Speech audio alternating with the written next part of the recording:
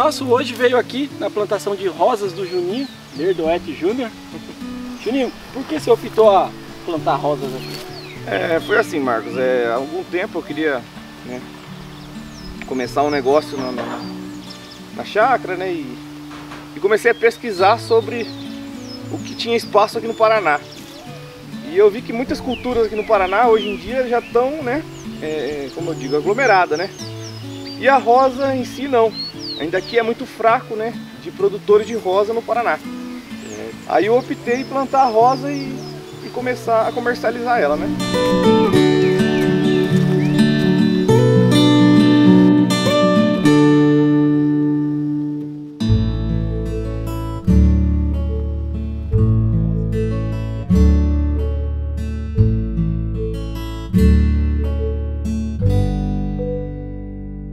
E que tipo de rosa você planta aqui?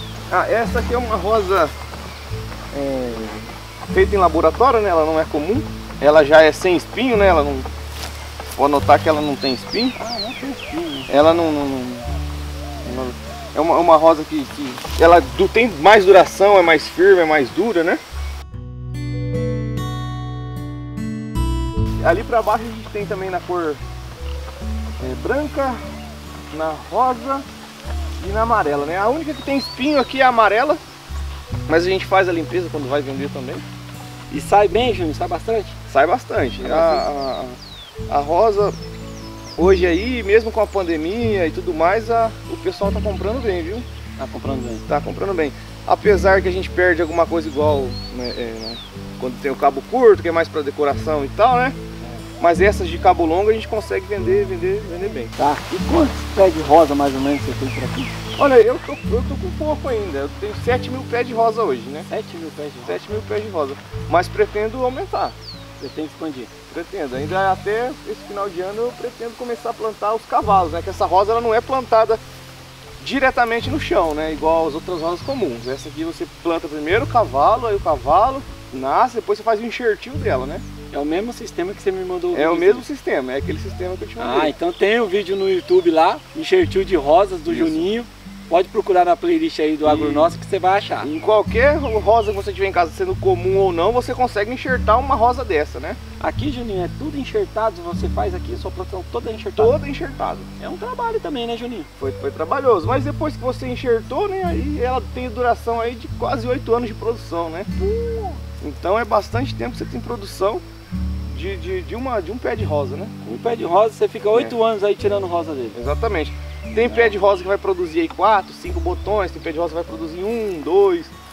Depende muito do, do, do, do- clima, de tudo mais, né? E adubo, Juninho, como você usa adubo? O uso, a adubo com certeza, é principalmente orgânico, que a gente joga bastante orgânico, que é o, é o esterco de galinha, o esterco de vaca, né? E a gente joga também o NPK, né? Que é o, o, o, o- princípio de todo adubo aí, não tem, não tem jeito, né? É assim, é o nitrogênio, né? Que é o N, ele É. serve para expandir as rosas, né? Ele dá mais rama, né? Certo. Ela vai soltar mais rama, as folhas vão ficar mais bonitas. O fósforo, que é o P, é para aumentar o tamanho do botão, né?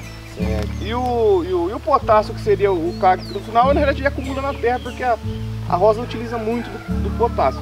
Mas como já é, uma, já é estipulado fórmula, né? Que a gente compra já é estipulado fórmula, a gente joga desse tipo mesmo, né? Ah, entendi. E Juninho, se o cara quiser comprar rosa de sua aqui, como ele faz aqui? Entra na sua página, você tem página, tem, Tem, tem, tem telefone? é, é, Belas Rosas, né? no Belas Facebook, Rosas no Facebook? Que vai estar no, no- na descrição do Tá na vídeo. descrição do vídeo aí, É. Belas Rosas no E é Facebook. só mandar mensagem pra mim lá.